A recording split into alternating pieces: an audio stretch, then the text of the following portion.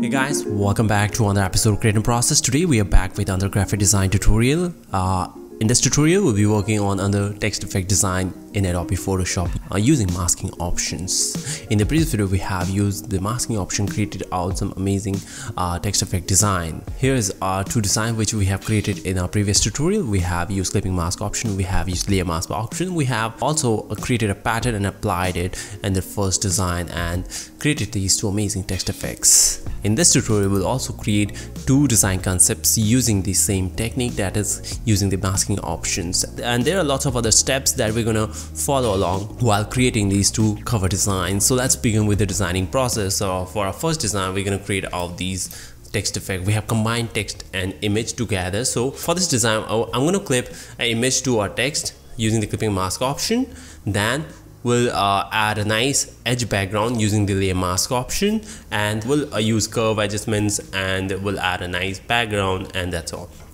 so let's create a new artboard so uh, this is our R1 artboard. I'm going to add a new artboard inside this document. So what I'll do is I'll select the artboard to right? And click on this plus and it will add a new artboard. Very simple, very easy.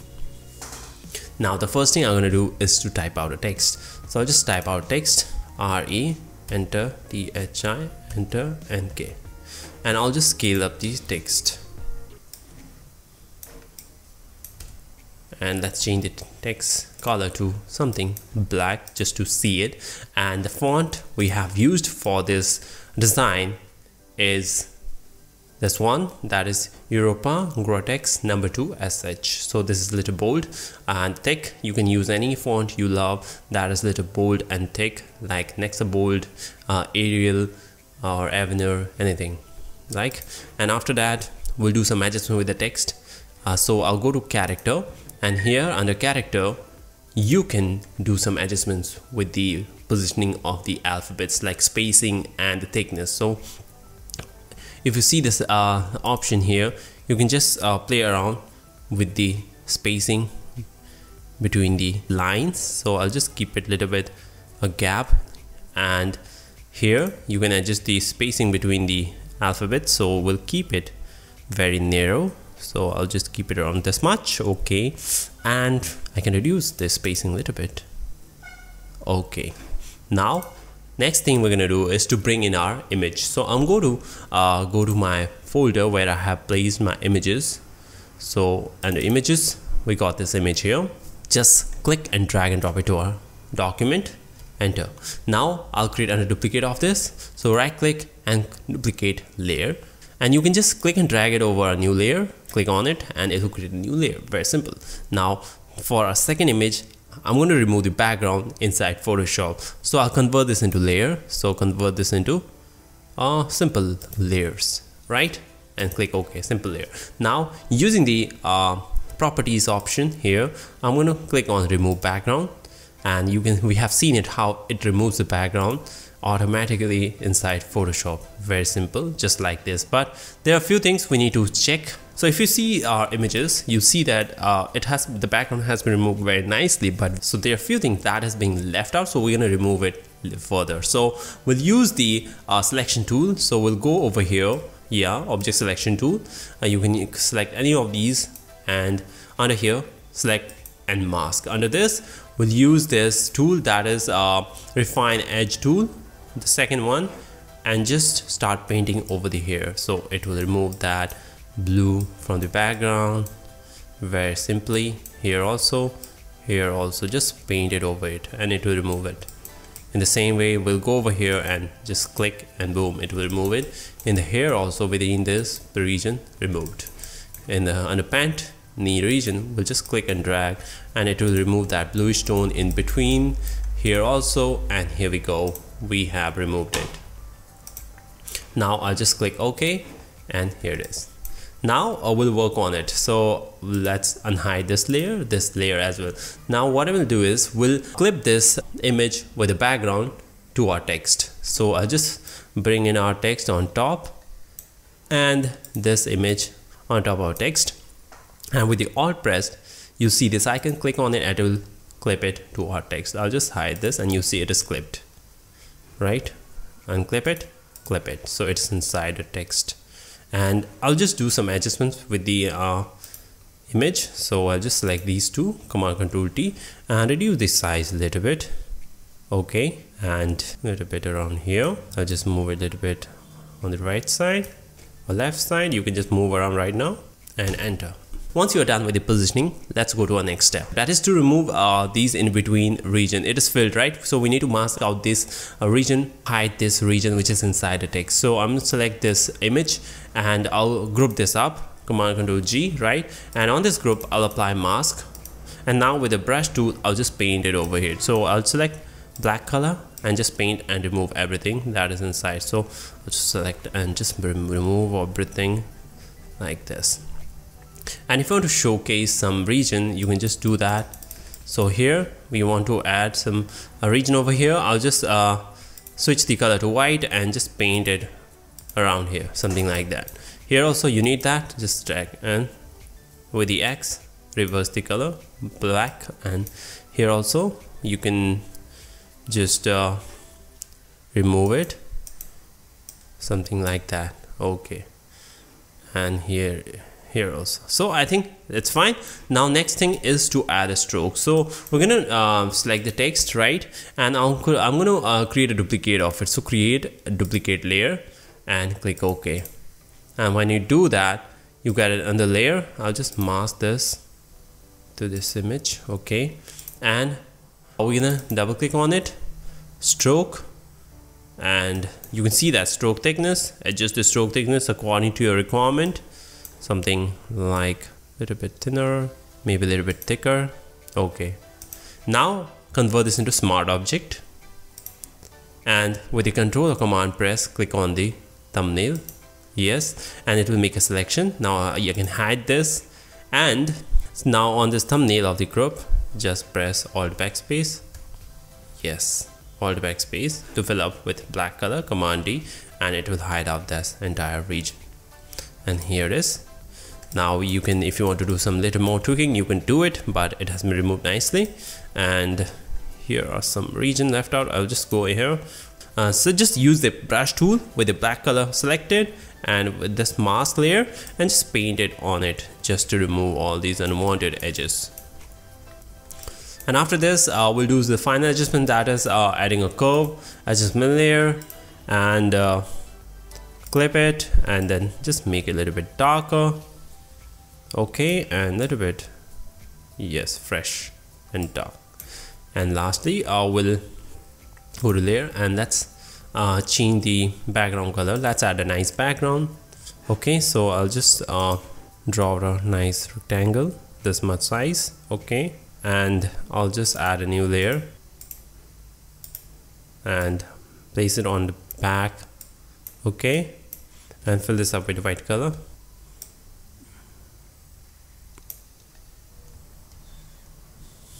now let's adjust the size. So I'm gonna select everything right?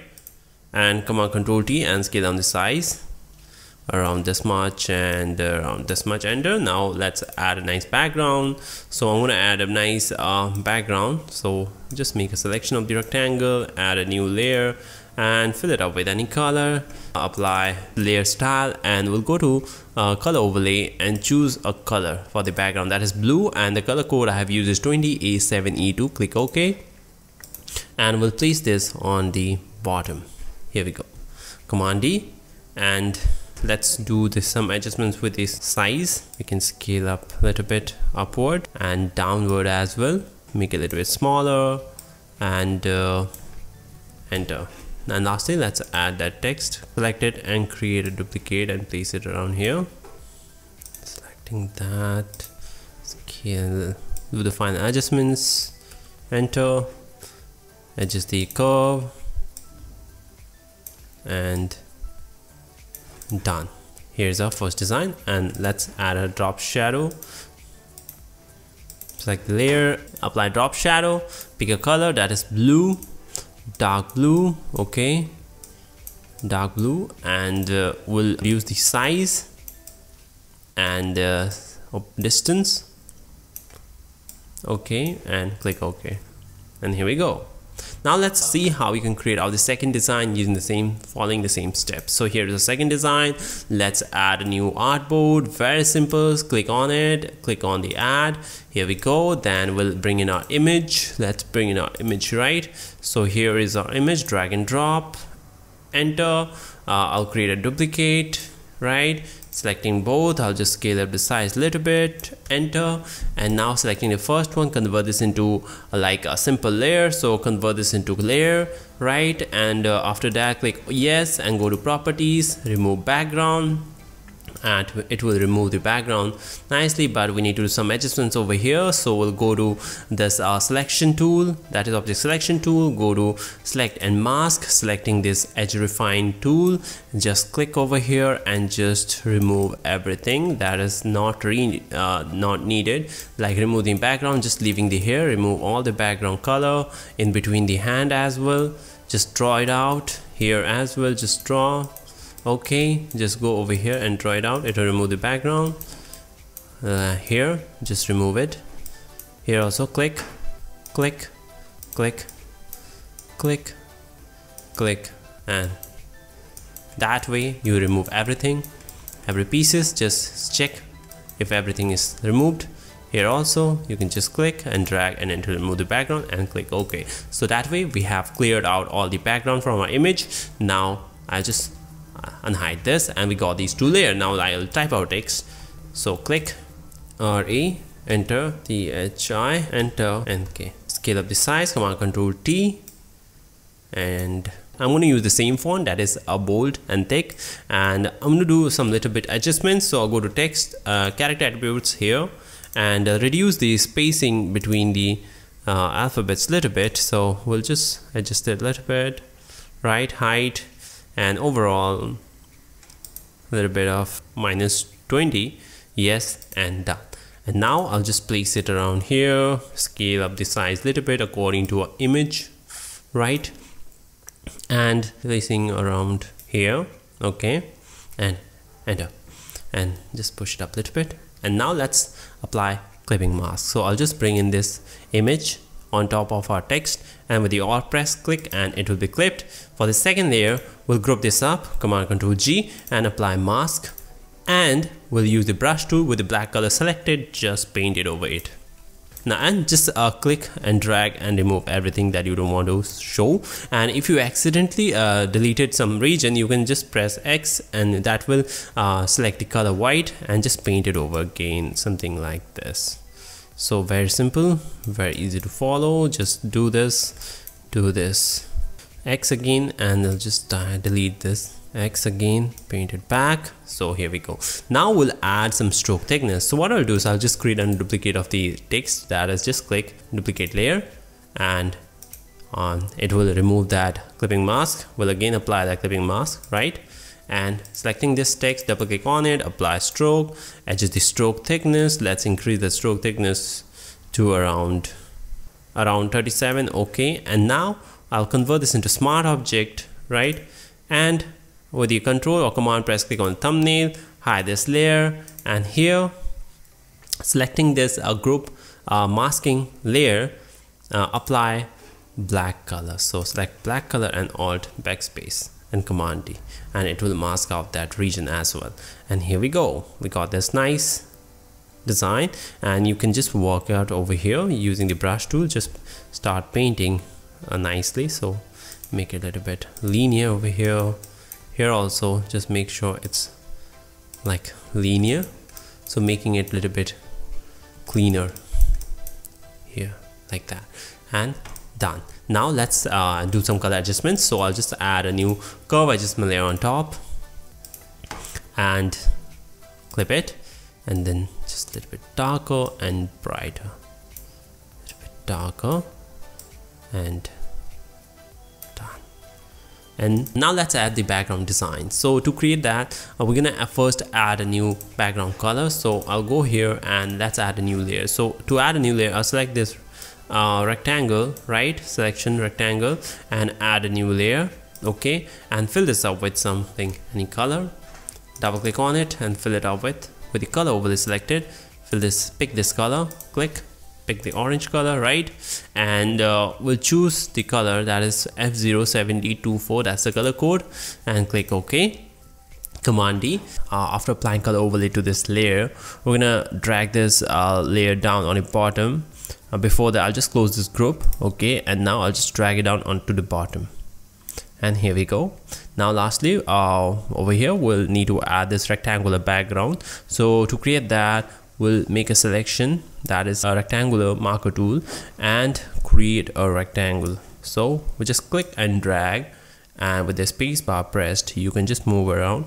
Adjust the size a little bit this side and this one around this much and okay now I'll add a new layer and apply white color alt backspace. Uh, choose the white color alt backspace and command D. And here we go you can adjust the size command control T and just tweak around the size. This upper little bit up and little bit down. And and after that we'll add this drop shadow. So double click on it add drop shadow. Uh, choose a color yes make it dark brown okay and adjust the uh, distance a little bit and the size make it a little bit smaller and increase the distance and size. And set the opacity around 75 okay and okay. And lastly I'll just drag this text. So select that and with the alt press create under duplicate and press it and bring it down here. And here we go. And adjust the curve. If you want to do some adjustment with the curve adjustment layer.